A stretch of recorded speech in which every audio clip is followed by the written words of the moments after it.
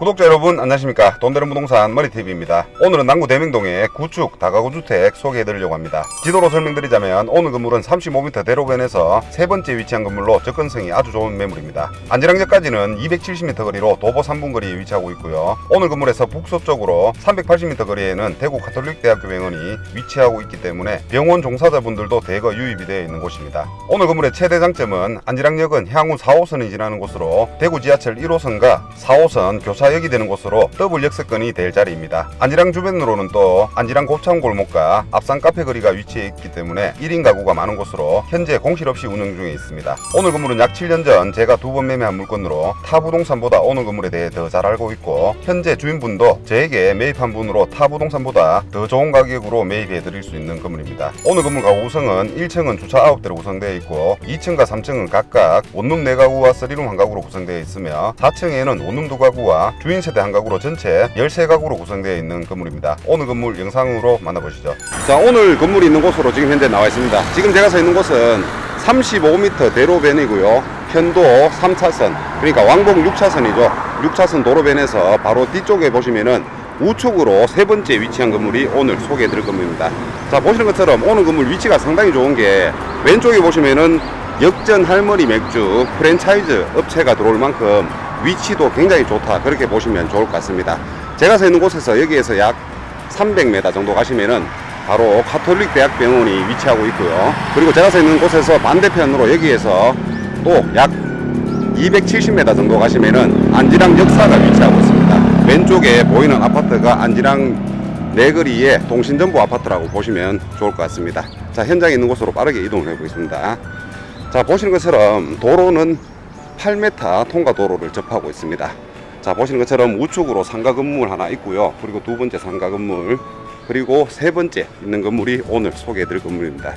자, 보시는 것처럼 오늘 건물은 대지 평수가 큰 만큼 건물 연면적도 굉장히 큰 그런 건물이라고 보시면 되겠고요.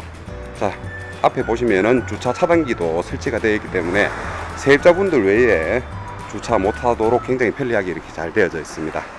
자, 건물 전면 보시면 건물 전면은 대리석 시공을 굉장히 깔끔하게 잘 해 놓았고요. 자, 앞서 설명드린 대로 내 집 앞에 도로는 8m 통과 도로를 접하고 있고요. 그리고 좌측 측면에 보시면은 좌측 측면에도 보시는 것처럼 2m 통과 도로를 접하고 있습니다. 그래서 코너 건물이라고 보시면 좋을 것 같습니다. 자, 오늘 건물은 앞서 말씀드린 대로 약 7년 전에 제가 두 번 매매한 물건으로 오늘 건물 내용은 상세하게 제가 잘 알고 있고요. 직접 보러 나오시게 되면 하나하나 상세하게 설명을 드리도록 하겠습니다. 자, 그리고 바로 뒤편에 보시면은 코너에 왼쪽 코너 건물도 있죠. 이 건물도 얼마 전에 저희가 또 저희 사무실에서 매매를 해서 관리를 하고 있는데 이 동네는 안지랑 역사도 가깝고 가톨릭 병원도 가깝게 있기 때문에 오늘 건물은 공실 걱정 없이 이 동네는 공실 걱정 없이 운영이 가능한 그런 건물이라고 보시면 좋을 것 같습니다. 자, 건물 주차장 안쪽으로 들어가 보겠습니다. 자, 주차장도 보시면은 오늘 건물 대지 면적이 9단위로 94평입니다. 그래서 보시는 것처럼 주차도 양방향 자주식으로 되어 있습니다. 그래서 세입자분들 주차에 스트레스 전혀 없고요. 자, 오늘 건물은 또 관리도 굉장히 잘 되고 있는 게 보시는 것처럼 청고 쪽에 보시면은 또 배관들마다 보온재를 다 감아 놨어요. 그래서 겨울철에 얼지 않는 효과도 있고요. 그리고 청고 밑으로 보시면은 또 에어컨 실외기들 가지런하게 이렇게 매립을 굉장히 잘 해 놓았습니다. 주차장 바- 바닥은 칠을 깔끔하게 이렇게 잘 해 놓고 있고요. 자, 바로 정면에 현관문이 위치하고 있습니다. 현관문을 열고 안쪽으로 들어가 보겠습니다. 자, 현관 들어서는 바로 정면에 계단실이 이렇게 구성이 되어 있고요. 왼쪽으로 보시면은 계단실 밑으로 청소 도구가 굉장히 크게 빠져 있습니다. 그리고 현관 공간도 굉장히 넓기 때문에 보신 것처럼 세입자분들 자전거 이렇게 보관을 하고 있는 중이고요. 그리고 밑으로 보시면은 또 CCTV 4채널로 잘 돌아가고 있습니다. 자, 2층으로 올라가 보겠습니다. 자, 오늘 건물은 13가구입니다. 전체 13가구로 공실 없이 운영이 잘 되고 있다고 앞서 말씀을 드렸고요. 자, 2층입니다. 2층에는 앞서 설명드린 대로 원룸 4가구와 3룸 1가구 전체 5가구로 이렇게 구성이 되어 있습니다. 자, 오늘 건물 2011년도에 사용 승인이 난 건물인데 보시는 것처럼 계단, 복도, 청소 상태라든지 관리 상태가 정말 좋습니다. 그래서 손 볼 때는 전혀 없다고 보시면 될 것 같고요. 자, 3층입니다. 3층 역시 마찬가지로 원룸 4가구에 3룸 한 가구 전체 다섯 가구로 이렇게 구성이 되어 있습니다. 자, 복도 타일 보시면은 복도 타일도 화이트 톤으로 굉장히 깨끗한 타일 설치를 잘 해놓았고요. 자, 보시는 것처럼 층층마다 바로 남쪽으로 통창이 빠져 있기 때문에 복도도 굉장히 환하게 이렇게 사용이 가능합니다. 자, 4층이고요. 4층에는 원룸 두 가구와 주인 세대 한 가구 전체 세 가구로 구성이 되어 있습니다. 자, 오늘 건물 오늘 이사 주인 세대 이사가 나왔습니다. 그래서 주인 세대 안쪽에 내부 모습 보여드릴 수 있도록 하겠습니다. 자, 현관문 들어서면 우측으로 보시면은 네 칸짜리 세 칸짜리네요. 세 칸짜리 신발장 화이트 톤으로 굉장히 깔끔하게 구성이 되어 있고요. 정면에 이 연동 중문 설치가 되어 있습니다. 자 안쪽으로 들어서게 되면은 왼쪽으로 보시면은 중간에 거실 굉장히 넓은 거실이 이렇게 나타나고요. 왼쪽으로 보시면은 두 번째 방 그리고 우측으로 보시면은 안방. 오늘 건물은 정남쪽으로 3베이 구조로 이렇게 구성이 잘 되어져 있습니다. 자 거실 넓이는 아파트 평수 40평대로 보시면 될 것 같습니다. 굉장히 넓게 구성이 잘 되어 있고요. 그리고 바로 뒤편으로 보시면은 일자형 싱크대가 이렇게 구성이 되어 있습니다 왼쪽으로 보시면 또 베란다도 따로 굉장히 크게 마련이 되어 있고요. 자, 안방으로 우선 이동을 해보겠습니다. 자, 안방도 보시는 것처럼 구조가 굉장히 넓습니다. 정말 넓게 빠져 있기 때문에 가구 많으신 분들도 들어와서 실거주를 하시더라도 전혀 걱정이 없게 생활을 하실 수가 있고요. 마찬가지로 보시면은 정남쪽으로 창문 굉장히 크게 빠져 있기 때문에 일조량 걱정 안 하셔도 좋을 것 같습니다. 오늘 날씨가 대구는 지금 굉장히 많이 흐려요. 그래서 햇빛이 많이 들어온 거 지금 영상으로는 잘 안 보이실 건데 정남쪽을 바라본다고 보시면 되겠고요. 날씨 좋을 때는 일조권도 굉장히 일조량도 굉장히 좋다. 그렇게 설명드리고 싶습니다. 자, 왼쪽으로 보시면 또 안방 내욕실이 이렇게 넓게 구성이 되어 있고요. 내욕실 쪽에 보시는 것처럼 창호가 빠져 있기 때문에 한기 습기 걱정 전혀 없다. 그렇게 보시면 되겠고요. 자, 그리고 안방 쪽에 열석자 정도 되는 농 충분히 놓을 수 있는 공간이 있습니다. 자 그리고 두 번째 방으로 이동했습니다. 자두 번째 방이고요. 두 번째 방 역시 보신 것처럼 굉장히 크게 잘 빠져 있고요. 창문은 서쪽을 바라보고 있습니다.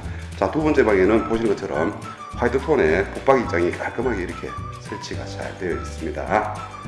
자 그리고 세 번째 방으로 이동을 하고 있습니다.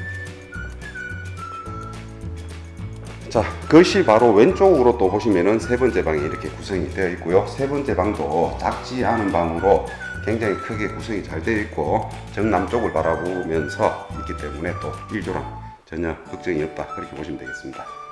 자, 싱크대는 앞서 말씀드린 대로 일자형 싱크대가 화이트톤으로 굉장히 깔끔하게 구성이 잘 되어 있고요. 왼쪽 편에 보시면은 냉장고 두 대까지는 충분히 놓을 수 있는 공간 마련이 되어 있습니다. 자, 그리고 우측으로 보시면은 또 보일러실 겸 세탁실도 굉장히 넓게 이렇게 구성이 잘 되어 있어요. 이 공간에 세탁기 그리고 건조기 충분히 두 대는 놓을 수 있는 공간 충분히 나오고요. 자, 그리고 우측으로 보시면은 3구짜리 가스레인지 그리고 위쪽으로 후드 설치가 되어 있습니다. 자 그리고 주방 옆으로 또 나가보면은 베란다 공간이 있다고 말씀드렸던 베란다 공간으로 제가 한번 나가 보겠습니다. 보시는 것처럼 오늘 건물은 오늘 건물은 남동 쪽을 바라보고 있습니다. 그래서 이 공간은 일조권을 좀 받은 공간인데 그래도 보시는 것처럼 사용하기 편하게 이렇게 구성이 잘 되어 있어요. 여기에 세탁기 놓고 빨래 넣을 수 있는 공간으로 사용하시면 좋을 것 같습니다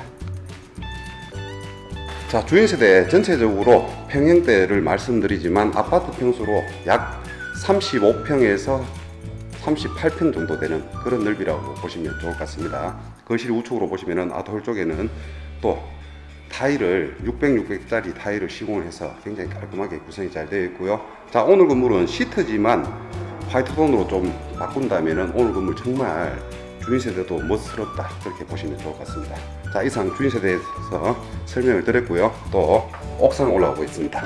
자 오늘 이사를 나갔기 때문에 지금부터 당장 들어오셔서 거주까지 가능한 물건이라 그렇게 보시면 좋을 것 같습니다.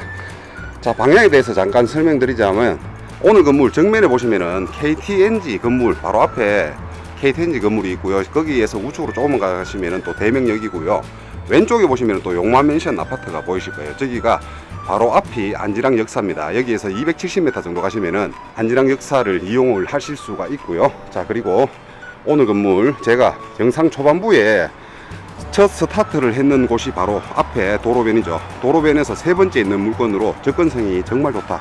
다시 한번 더 설명을 드리고 싶습니다. 자, 그리고 우측에 1층에 역전 할머니 맥주가 들어와 있다고 이제 말씀을 드렸고요. 또 바로 왼쪽에 보시면 또 큰 건물이 하나 있죠. 이 건물 또 1층에는 또 다이소가 들어와 있습니다. 프랜차이즈 업종들이 이쪽에 들어와 있다 하는 것만 봐도 오늘 건물 상권도 정말 좋은 곳에 위치하고 있다. 그렇게 보시면 좋을 것 같습니다.